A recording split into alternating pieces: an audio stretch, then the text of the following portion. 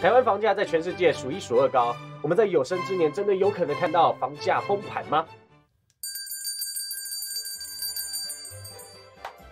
大家好，我是喜剧说书人，在影片开始之前，记得帮我订阅频道，并且开启小铃铛。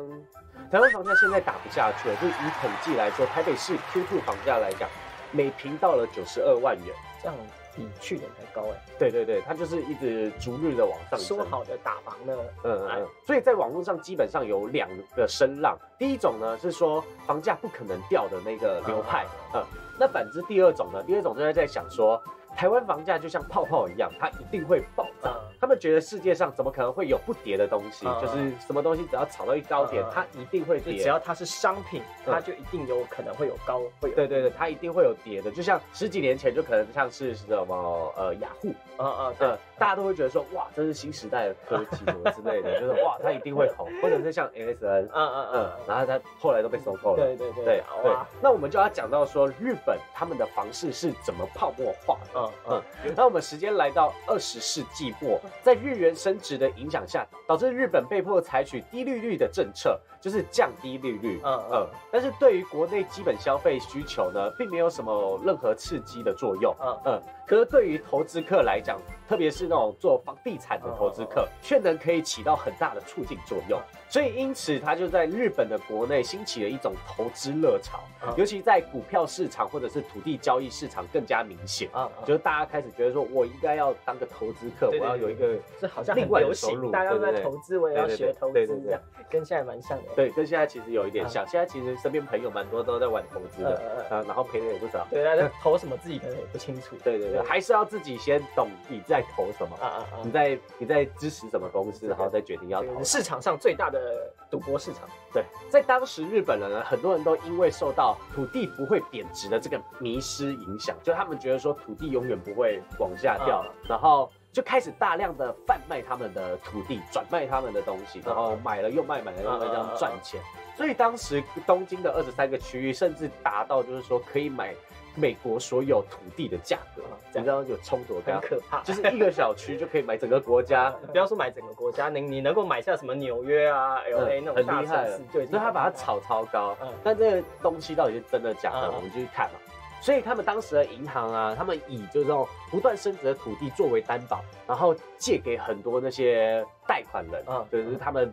借了很多债，说你今天有土地，我借更多，我给你更多钱，就是你有土地，我就给你钱，因为觉得比较有信任啊。嗯嗯嗯，你是有资产的，我就愿意借钱给你。对对对。同时，因为地价的上涨，也使土地的所有者他们的资产越来越多，所以刺激了消费的欲望，从而导致国内的消费需求一直在成长，就是有点像促进消费振兴券。好，好像很漂亮这样。对，很漂亮，很漂亮。然后进一步刺激就是整个经济的发展。对。它就是一个大循环。对，我就来做数据，大家一起来做数据，嗯嗯，听起来还不错。而且那个时候的市场，他们是不断的鼓励，就是他们的人们持续的购买股票，因为他们觉得说股票是绝对不会贬值的，感觉很像会有什么那种很贱的销售员，会觉得，就他们要不要买一只股票啊？对，他们的工作其实也是做这个啦，其实也是做这个，只是人们也要有一点知识说。他们可能真的没有遇过股票掉下来过，对，但是他轰动你，对他们是第一次第一次看到说，哎，股股票就是一直往上，一直往上，也没有看过股票下来，因为在那个时候经济经济上来嘛，所以其基本上。大部分的公司都会一起往上，嗯嗯，但当时其实还是会出现少数的反对的论点，嗯，他们认为说土地的价格已经远远超过实际的需求了。接着，日本的泡沫经济来到了最高峰，当时日本的各项经济指标都达到了空前的最高水准，就像我刚刚说的，就是所有东西都在涨，所以大家都会觉得说。超美的数据，对，大家都会觉得说股票就只只是会涨，它不会跌，嗯，但是由于资产的价格持续上升，无法得到实际产业的支撑。在一九八九年，日本的经济平均股价达到了三万八千点，其实蛮高的，嗯，但是从这之后就开始往下跌。土地价格也在一九九一年左右开始往下跌，所以泡沫经济就开始崩裂了。刚好是我们这个世代出生的时候，而后来到了一九九二年的三月，日本经济的平均股价跌破了两万点。所以他就等于说砍了一半以上，对啊，对对，而且是在不到半年的时间，然后就跌了一万四千点左右。嗯，这些大量的账面资产在短短的两年内全部化为乌有，雪崩式下滑，没有错，就是。直接哎，我今天所有的股票完全就好像我们户头看到可能有一百万，然后隔天看到是一百块这样。对对对，完全没有用。嗯，所以等于说他们之前看到那些就只是数字而已，就是你没有把它领出来，你没有把它，就这个钱没有拿在手上，都叫做不叫做自己的钱。有一本书叫做《下流老人》，就是在讲这件事。他不是在讲说这个老人家有多坏、多下流、多色，不是在讲这个。他讲说，呃，这个老人家呢，他在。他在他的人生中，他都没有花过什么钱，他就一直在存钱。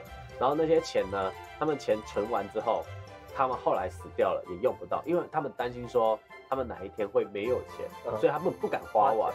对，然后后来那些钱给谁？就给那些小孩。对他给小孩花，真幸福。对，所以他们国内平均的遗产呢，都是几百万以上的。呃，这样也好啊，他好歹就是这笔钱还是留给自己爱的人。总比就是有些人他死掉了之后，然后他这笔钱是交给政府啊，拱手让也是哈，好好好。那我们话题讲回来，就是因为这个状况，所以让日本经济进入了失落的二十年里面。嗯，在资产大幅度的缩水下，就民众开始花钱变得比较谨慎了，客家起来。因此，就是很多民间的消费开始萎缩，大家不敢花钱嘛。嗯，银行呢也因为坏账过多，然后开始放款也变得谨慎，就是标准变很高。嗯，那紧接着大企业就开始会倒闭裁员，那时候失业率上升了一倍以上，就是从一九九零年的二点一趴上升至就是一九九八年的四点三趴。嗯，对对对，一倍以上了，超过了。而在房价崩溃之后呢，他们不得不借高利贷去还银行。就是用新的债去还旧的债，嗯嗯，所以才导致我们之前讲女权的那一集，对，嗯嗯嗯，就大逃杀时代开始，对对对对。那到了现在，因为少子化的影响，所以原本炙手可热的房子呢，变成了一个负资产，嗯嗯，它就变成一个。大家都不要的东西，大家都不想要的东西。然后随着乡村他们老龄人口开始凋零后，那些在都会工作的子女也对继承乡村空屋兴致缺缺。那这样的空屋呢，在日本现在的状况已经达到了八百四十九万户。日本政府呢，他们把空屋的资讯放在网络上，寻找有意愿从外地来这边入住的人。甚至他们还提供就是修缮的费用跟一些税务的减免。嗯，就是最便宜的一间空屋只要一万五千块台币，但是这样子也没有人想要买。所以我们要在买房子的话，我们其实可以去日本买。呃，可是那个地方会不会是那种什么？就是真的没有鸟屎鸟不拉屎那种，对一个人的放眼望去，什么屁都没有。就是你。就是你要保持着，就是说一个良好的我要生活的，我要有一个自给自足，我要可以自己种菜的概念，我要与世隔绝。对对对，可能网络都搜不到的地方。嗯，有相关学者认为，就是在台湾的人口状况长期来看的话，对房地产的市场是不利的，因为就没有多少人要买房子嘛。嗯，现在刚好是就是三十到四十左右的年轻人，他们开始离巢的阶段，暂时缓和了一些人口减少。对房地产的负面影响，嗯，因为他们不一定想要跟自己爸妈住，然后爸妈也不一定想要跟他们住在一起啊，就是大家都长大，你该出去了。在这个条件来看，才能维持住就是现在房地产的基本盘，嗯，就是有人想要买房，然后刚好有这些人出来，嗯，就是当他们老一辈的都走了以后。这个条件就不存在了，因为后面这些人就是买完房子之后，接下来的人就开始继承爸妈的房子。对，那人口的因素对房地产来讲，其实是一种负面的影响，就会慢慢的浮现出来。因为大家都继承自己家里的房子，这个逆的就下降。嗯，不会像以前的，就是一个一个家庭生五六个、七八个。对对对。所以就不会有更多人在要买房子嘛。嗯，搞不好以后的市场就会变成是租客的市场，而不再是房东的市场。那就是房东找不到租客，因为没有人有这么大的，因为可能我身上会有两三间房子，就是继承来的，但是这些房子我也卖不出去，因为没人要买，那我就只能租房子，然后就变更多空屋了。对，嗯嗯，所以简单来说，就是很多人觉得说台湾距离经济崩盘。还有一大段距离，觉得现在就是泡沫化，它还没有破裂，就距离泡沫化，呃，要到破裂还有很高的距离。呃。但其实我蛮纳闷的是，我不知道为什么在欧美。他们普遍的人都是租房比较多，而不是买房。